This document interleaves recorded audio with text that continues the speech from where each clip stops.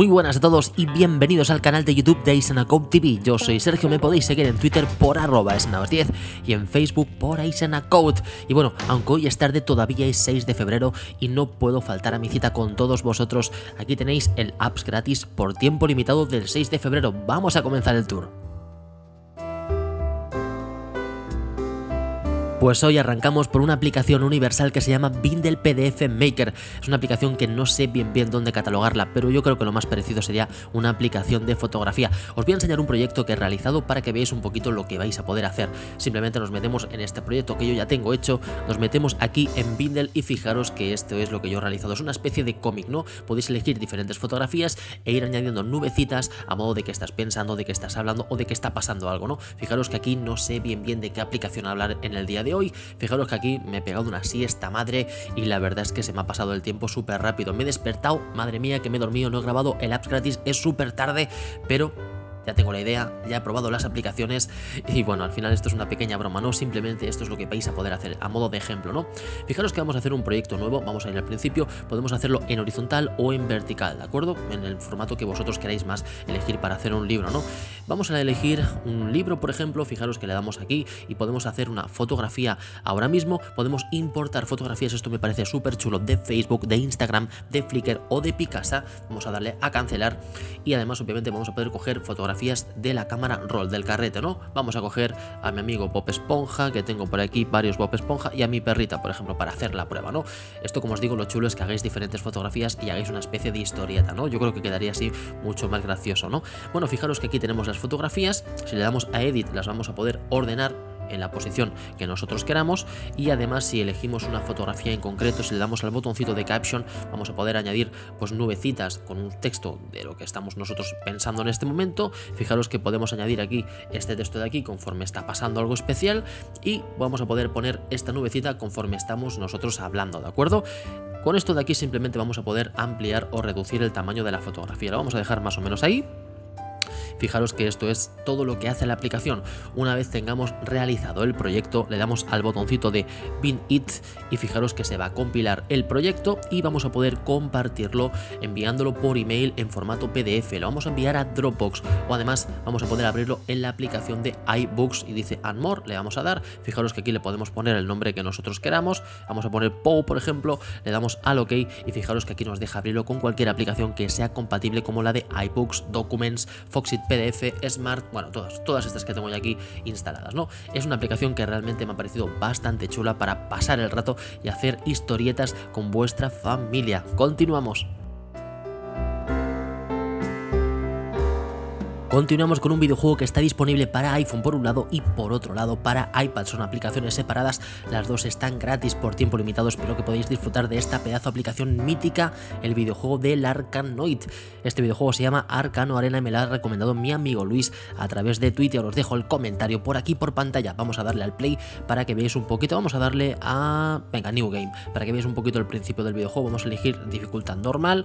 Le vamos a dar a continuar y vais a ver ahora el pedazo de videojuego. Es el típico videojuego de toda la vida de Arkanoid, ¿de acuerdo? Simplemente desde aquí abajo, pues bueno, vamos a poder, bueno, aquí nos hace el tutorial porque hemos empezado una partida nueva, fijaros que desde aquí abajo nos vamos a poder mover y cuando pulsamos dos veces vamos a lanzar la pelota. Tenemos que ir evitando que la pelota toque el suelo, tenemos que más o menos predecir dónde va a rebotar la pelota y tenemos que ir moviéndonos para conseguir que no toque el suelo y que la pelota vaya destruyendo los cuadraditos, ¿no? Más o menos va a caer por aquí, uy, uy, uy, uy que demasiado escorada va a caer la pelotita, ahora va un poquito lento, pero conforme vaya rompiendo cuadraditos, van cayendo cosas, va a hacer que las pelotas se multipliquen, lo cual va a hacer el juego más frenético. Es un juegazo, a mí me ha encantado este videojuego de toda la vida y por fin lo tenemos, bueno, por fin, la verdad es que ya hace tiempo que está este videojuego, ¿no? Pero la verdad es que es una grata sorpresa descubrirlo, así que muchas gracias a mi amigo Luis por la recomendación. Os lo recomiendo y continuamos. Ahora os quiero recomendar una aplicación fantástica que me ha recomendado mi amigo Antoni a través de Twitter. Es una aplicación de fotografía, pero de verdad que está completamente vitaminada porque nos permite hacer mogollón de cosas, ¿no? A simple vista es una aplicación normal de fotografía con las típicas opciones de fotografía. Por un lado tenemos el flash, por otro lado tenemos cambiar a la cámara delantera, a la cámara trasera y luego pues aquí tenemos el cambio a vídeo o a fotografía. Si pulsamos aquí cambiamos a vídeo y si volvemos a pulsar cambiamos a fotografía, ¿no? Pero es que tiene cosas tan chulas como que aquí tenemos un tirador, al desplazarlo vamos a poder aplicar una serie de filtros que son todos estos de aquí, podemos elegir el filtro que nosotros queramos y se va a aplicar automáticamente a la fotografía que nosotros hagamos, ¿no? Vamos a poner por ejemplo este filtro de aquí, ¿de acuerdo? Es que además, aparte de los filtros, vamos a poder, si pulsamos en este botoncito, de aquí vamos a poder poner un marco para que la fotografía la tomemos con mayor precisión, ¿no? O además incluso con esta opción de aquí vamos a poder tomar una fotografía con una inclinación perfecta, ¿de acuerdo? Aquí tenemos una inclinación completamente ortogonal con el suelo, es fantástica esta aplicación porque nos permite hacer un montón de cosas que la verdad es que la aplicación nativa de cámara tendría que mejorar y parecerse un poquito más a esta, ¿no? Además tenemos más cosas, porque si pulsamos aquí, fijaros que se nos despliega otro menú con el que vamos a poder hacer fotografías con un estabilizador de imagen con lo cual vamos a hacer mejores fotografías. Con esta, con esta opción de aquí tenemos un botón grande, si tocamos la pantalla vamos a hacer automáticamente una fotografía, ¿no? Y además aquí tenemos efecto de ráfaga, tenemos efecto de temporizador y además tenemos el efecto de intervalo. Vamos a irnos aquí y fijaros que desde aquí ponemos el efecto de intervalo cada 5 segundos o el tiempo que nosotros le pongamos, pues bueno, va a hacer una fotografía, ¿no? En este caso yo lo voy a dejar en normal y os voy a enseñar otra cosa bastante chula. Cuando tocamos la pantalla, fijaros que hacemos un enfoque, pero si tocamos con dos dedos, enfocamos en un lado y ponemos la exposición en otro. Esto me parece fantástico, pero es que además haciendo un pinch vamos a hacer un zoom al igual que lo haríamos la cámara nativa, ¿no? Pero bueno, la verdad es que tiene bastantes cosas esta aplicación. Vamos a hacer una fotografía de prueba, por ejemplo, a mi Mac, ya tengo la foto de prueba, vamos a irnos a este botoncito de aquí para editar un poquito la fotografía, porque sí, aparte de poder tomar fotografías con un preset, con un filtro preestablecido, además vamos a poder editar estas fotografías de unas formas bastante chulas. Vamos a darle a este botoncito de abajo a la izquierda y desde aquí, pues bueno, vamos a poder ajustar todas estas opciones, ¿no? Fijaros que aquí vamos a poder ajustar el enfoque, la temperatura, la intensidad, el contraste. Desde aquí vamos a poder recortar la imagen, además lo podemos poner en diferentes presets, fijaros que lo podemos poner en las dimensiones que nosotros queramos o bien con la primera opción vamos a poder recortarlo de una manera más libre, ¿no? Con la siguiente opción vamos a poder meter efectos, nos van a aparecer una serie de filtros, ¿de acuerdo? Nosotros vamos a poder ir pasando a modo de swipe, tal que así, y vamos a ir viendo todos los filtros y nos vamos a quedar con el que más nos guste, ¿no?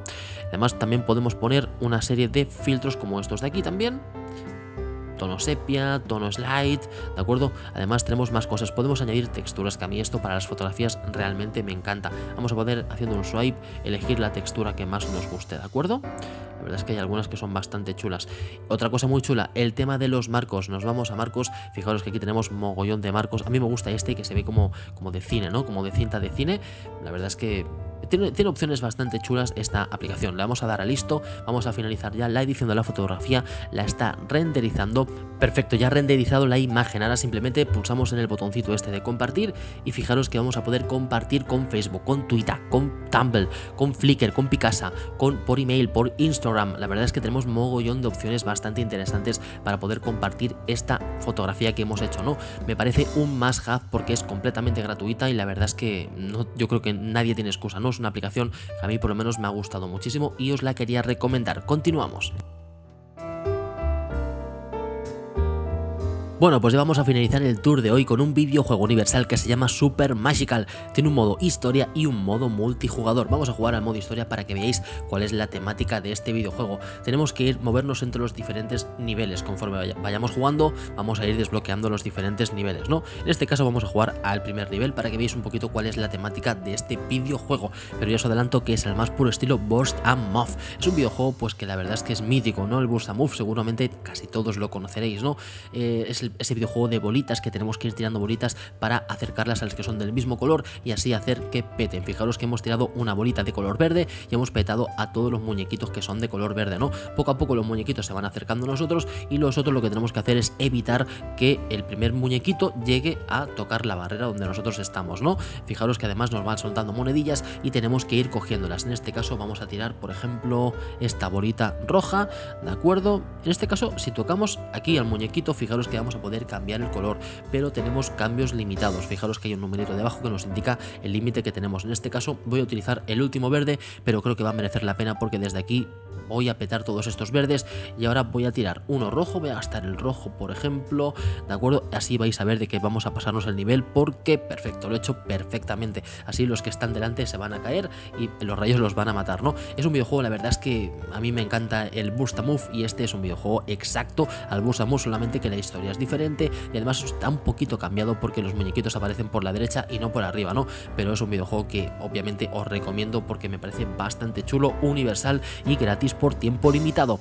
Bueno, pues aquí vamos a finalizar el tour de hoy, espero que os haya gustado el vídeo y nos vamos a ver si queréis en uno próximo. ¡Chao!